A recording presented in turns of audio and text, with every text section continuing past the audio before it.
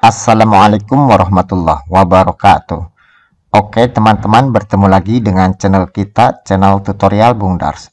Channel yang membahas tentang data online dan data offline serta informasi terkini yang sedang booming Baiklah teman-teman pada kesempatan kali ini seperti biasa kami akan kembali memberikan video tutorial yaitu tentang cara mengisi DRH riwayat keluarga untuk P3K Guru tahap 2 Sebetulnya ini untuk riwayat keluarga itu sudah kami bahas di tahap 1.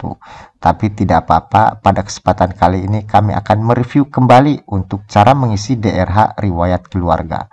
Baiklah teman-teman, kita langsung saja masuk ke SSCASN. Nah, ini adalah SSCASN teman kami gitu ya. Nah, sekarang kita langsung masuk di menu keluarga. Nah, dibiasakan teman-teman sebelum kita mengisi itu kita baca dulu petunjuknya ya. Silakan nanti untuk ketentuan pengisian data riwayat keluarga ini dibaca dulu. Nah, di sini yang perlu kita isi nanti data-datanya itu ada lima teman-teman ya. Ini untuk istri atau suami, untuk anak, untuk orang tua kandung, untuk saudara kandung, bapak atau ibu mertua gitu ya. Pengisiannya intinya sama gitu ya, intinya sama. Baiklah teman-teman, kita langsung ke pembahasannya. Nah, sekarang yang akan kami bahas itu yang pertama adalah istri atau suami. Jika teman-teman itu seorang suami, maka yang dimasukkan adalah data istrinya. Akan tetapi, jika teman-teman itu adalah seorang istri, maka yang dimasukkan adalah data suaminya gitu ya, intinya. Nah, coba sekarang kita ke tambah riwayat istri atau suami. Kita klik di sini. Nah, di sini perlu kita isi ya, teman-teman. Nah, jika suami atau istri teman-teman itu masih hidup gitu ya. Nah, silakan masukkan nik dan nomor kakak yang terdapat di kartu keluarga atau di KTP gitu ya. Silakan masukkan. Akan tetapi jika suami atau istri teman-teman itu mohon maaf sudah meninggal, di sini ada keterangan. Maka kosongkan gitu ya, maka kosongkan. Jika masih hidup silahkan masukkan nicknya di sini ya teman-teman silahkan dimasukkan nicknya gitu silahkan nah kemudian pekerjaan. Silahkan di sini dipilih teman-teman ya. Di sini ada semua gitu ya silahkan. Nah untuk yang sudah meninggal untuk pekerjaan itu pilih belum atau tidak bekerja ya. Karena yang sudah meninggal itu tidak bekerja otomatis. Nah, kemudian silahkan masukkan di sini nama suami atau istrinya gitu ya, silahkan masukkan. Ini menggunakan huruf kapital ya Nah, seperti ini saja yang bagus gitu. Nah, ini untuk tempat lahir adalah nama kabupaten, teman-teman ya. Silahkan diketikkan nama kabupaten gitu. Nanti akan muncul di sini, teman-teman. Nah, ya. Umpamanya kami itu kabupatennya di Brebes ya, tulis Brebes. Silahkan teman-teman masukkan gitu. Nah, tanggal lahir silahkan dimasukkan tanggal lahir suami atau istrinya gitu ya klik di sini lalu cari tahunnya gitu silahkan di sini ya lalu bulannya kita masukkan lalu tanggal. Ini hanya contoh saja. Nah kemudian untuk perusahaan ini adalah nama tempat kerjanya itu perusahaannya di mana.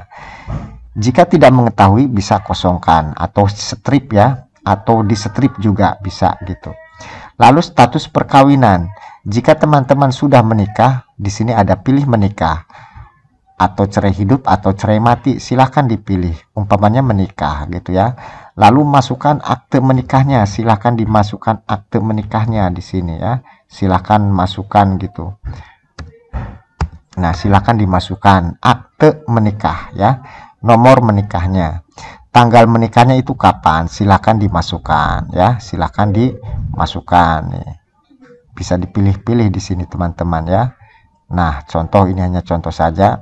Lalu status hidup, apakah suami atau istri teman-teman itu masih hidup atau sudah meninggal gitu ya.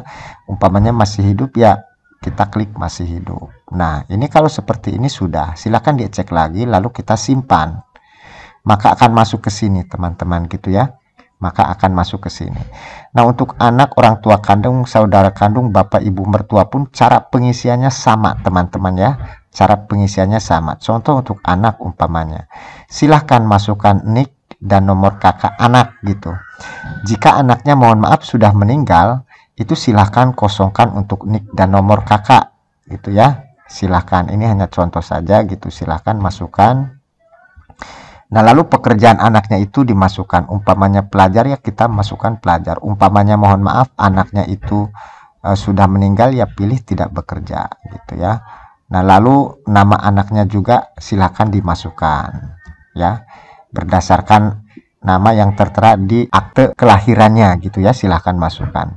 Tempat lahir ketikan saja ini nama kabupatennya teman-teman ya, silahkan nanti akan muncul. Nah, lalu tanggal lahirnya kapan gitu ya untuk anaknya tinggal dipilih saja di sini gitu ya nah seperti ini teman-teman lalu perusahaannya umpamanya anaknya itu bekerja di mana silakan tuliskan nama perusahaannya. Umpamanya anaknya masih sekolah silakan itu nama sekolahnya apa SD negeri apa gitu ya silahkan ditulis di sini. Nama sekolahnya nama perusahaan anak ini gitu karena masih sekolah. Kalau memang di sini pelajar gitu ya silahkan nah lalu jenis kelamin anaknya itu pria atau wanita. Lalu statusnya itu masih hidup atau sudah meninggal. Nah gitu ya Nah, seperti ini kalau sudah kita simpan. Intinya sama teman-teman ya. Nanti untuk orang tua kandung, saudara kandung, bapak, ibu mertua juga sama intinya seperti itu.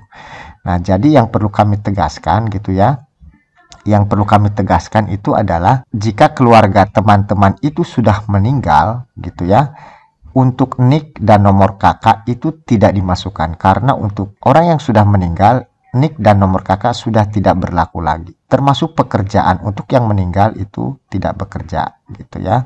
Nah di sini statusnya otomatis nanti bisa meninggal. Meninggal dunia maksudnya ya untuk dipilihnya Nah, untuk nama tempat lahirnya ya tetap dimasukkan gitu ya. Intinya bisa disimpan lah seperti itu. Nah, untuk keluarga yang sudah meninggal atau yang suami atau istrinya sudah bercerai gitu ya, itu sudah ada di tutorial kami semua teman-teman ya. Silahkan di sini bisa dilihat gitu ya, bisa ditonton. Nah, di sini sudah ada semua teman-teman ya. Nah, di sini sudah ada semua gitu ya ini cara input nih orang tua PNS gitu ya. Cara mengisi suami istri yang bercerai sudah ada gitu ya. Lalu cara tambah riwayat pekerjaan yang sekolahnya ini berpindah-pindah juga sudah ada. Nah ya silahkan bisa dilihat-lihat.